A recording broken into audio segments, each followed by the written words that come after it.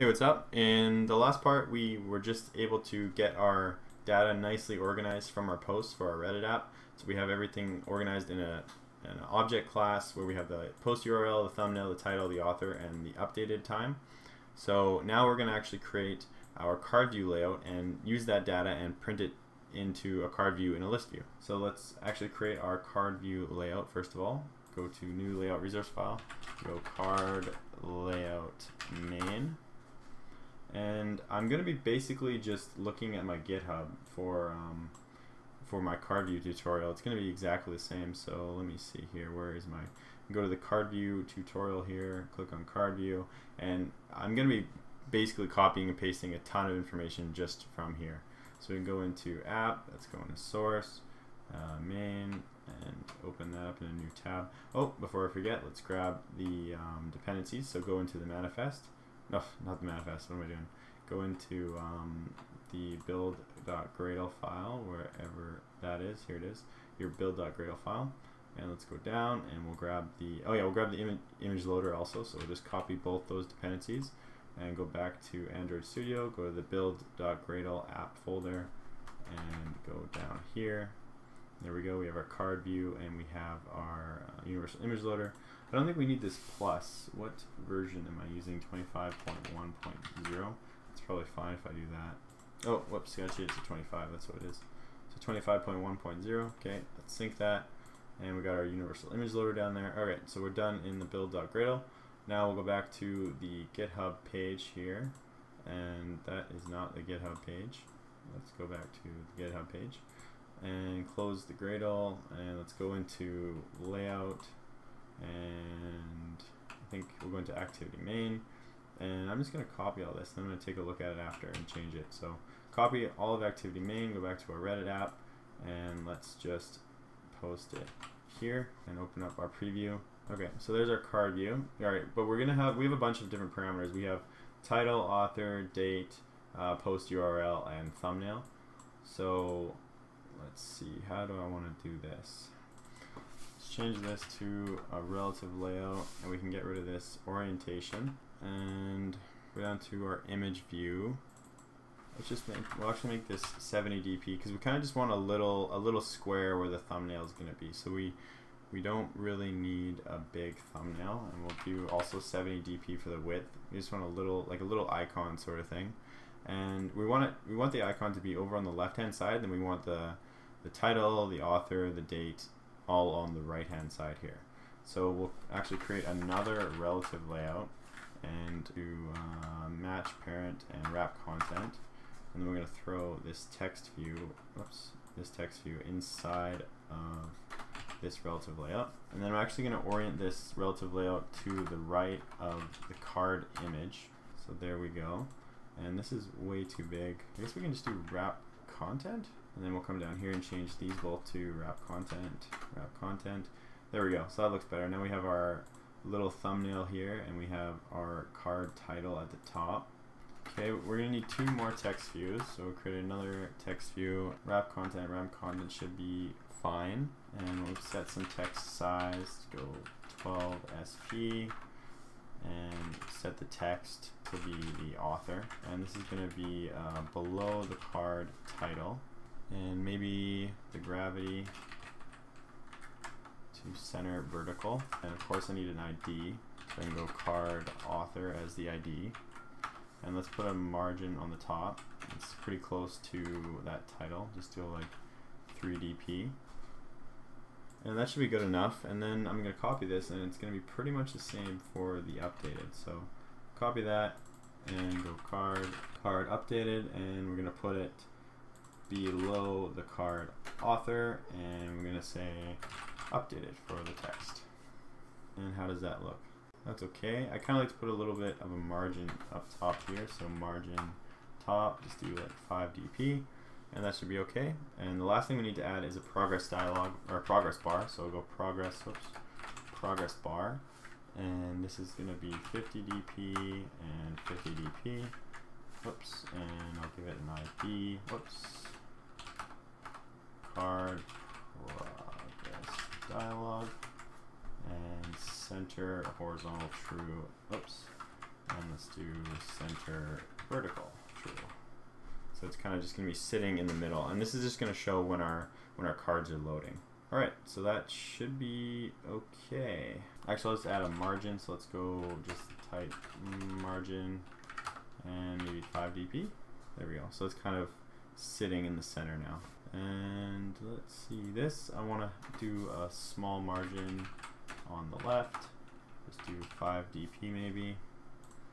And that should be good. That's that's good enough. We can we can tweak it if we need to, but that's generally how I want it. So that's fine. We'll close the card layout. Now we're going to go into activity main and quickly just throw in a list view. That's all we need in here. So I'm just go, uh, let's do list view and match parent, match parent, and give it an ID of list view.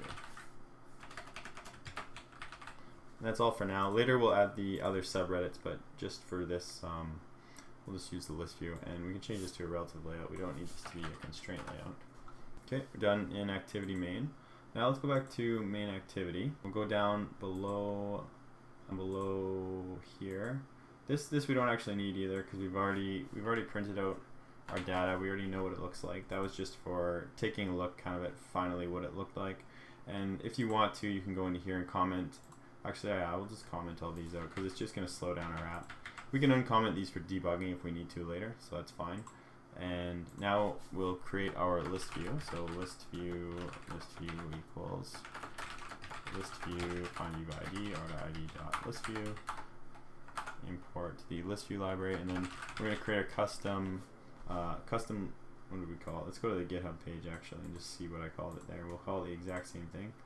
So go to here, custom list adapter dot Java. So I'm going to call it exactly the same thing. I'll copy that. Uh, Reddit app custom list adapter, custom list adapter equals new custom. I can just paste it actually. And it's going to take the context, so main activity dot this, and then our layout file, so r.layout.card layout main, and then we just pass our posts list. So this is going to be all of our posts. And then we just do list view set uh, adapter and pass our custom adapter except that's it there. Okay so now we just need to create this class and that should be good. So let's copy that go up here create a new java class paste and we'll go to our github page. And I'm just going to copy this whole thing and I'll edit it as we need to so copy and paste and let's go up to the top, uh, change the object, it's going to be a post object. So inside the view holder we need to match whatever our post objects are. I could just copy all these actually, let's just copy that and go in there and we'll get rid of all these privates because we won't want to be able to reference them easy. I don't want to make getter and setter methods so we can just do do that. I don't need the post URL in here um, but what I do need is the progress bar. So progress bar progress bar. And uh, let's take this. We don't need to set up the image loader every time this runs. That was a mistake I made in that tutorial. So we can just set up the image loader once and change this to post. And let's scroll down, keep going. Okay, so these methods are going to need to be changed. Um, this is going to be get thumbnail URL for the image. Um, string author equals get item position get author. And what else do we got?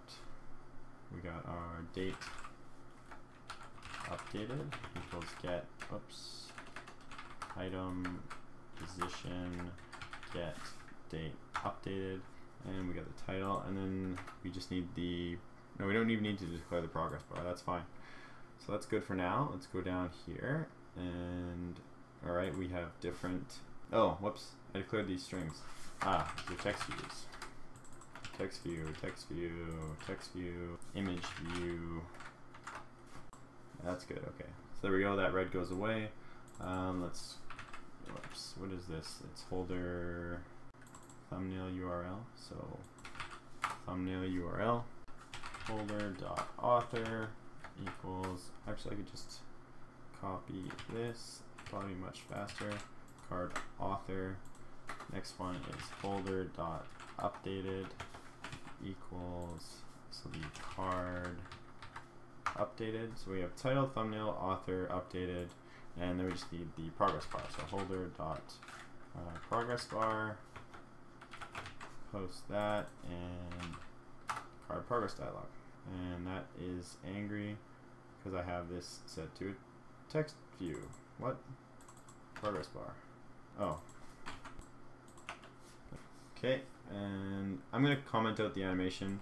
I actually don't really like the animation, so we're going to leave it out. And then we need to set the text here, so title,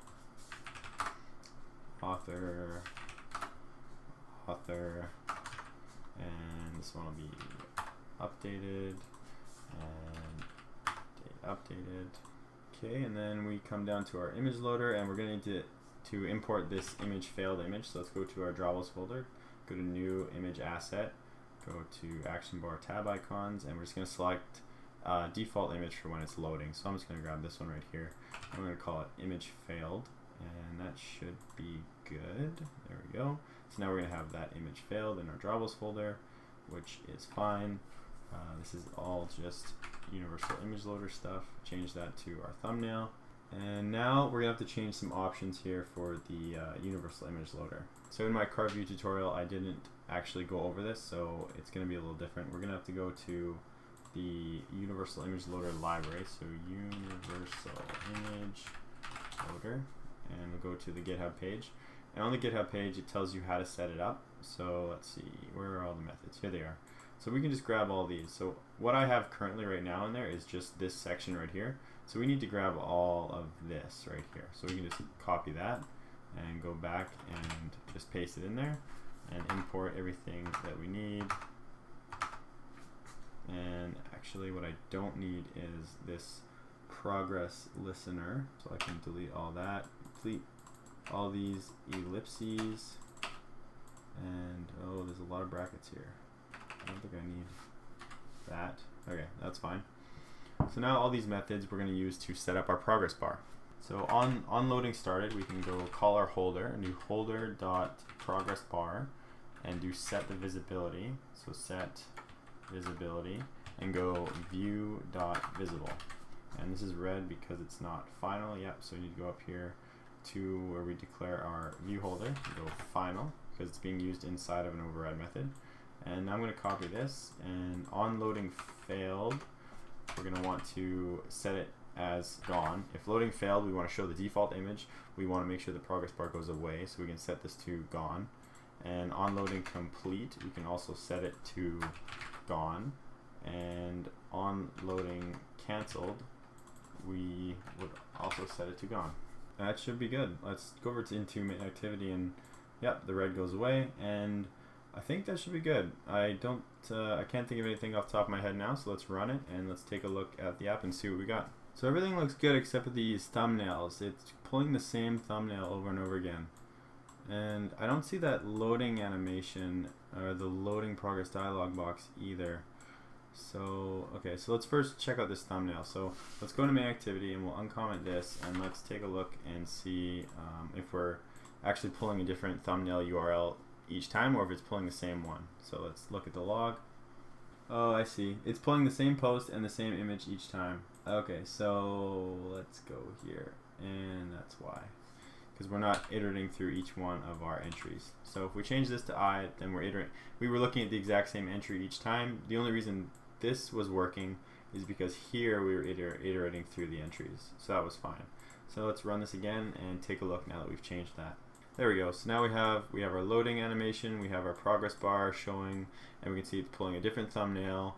And let's just go down and double check into the log to make sure it's pulling different information. And um, that one is different than that one, and yes, they're all different. So that's good. So it looks like everything is working the way it should be. Alright, so in the next one, I'm going to actually build that search bar at the front that I showed you in the very first demo video where we can change so we can actually change the uh, the URL. Because right now what we're doing is we're just looking. Uh, no, I don't need that. Right now all we're doing is we're looking at the Reddit RSS feed, but we're just looking at one RSS feed. We're looking at the Earthporn RSS feed. So I'm going to show you how to make uh, make it dynamic so that we can actually change it in the app. We can change it to whatever RSS feed we want and then display that RSS feed here. And you'll find that it's going to be surprisingly simple. We're basically just going to add an edit text edit text field at the top. We're going to be able to refresh that edit text field and it will refresh our card view. There's almost there's barely anything we need to add in here. It's very just minor few changes. If this video is helpful, make sure to leave a like below. Follow me on Twitter for notifications when new tutorials are posted. Subscribe if you haven't already, and thanks for watching.